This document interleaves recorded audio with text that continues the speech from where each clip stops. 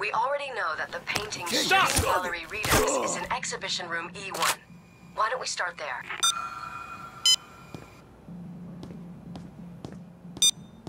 The gallery recently installed QR readers for the exhibition room locks.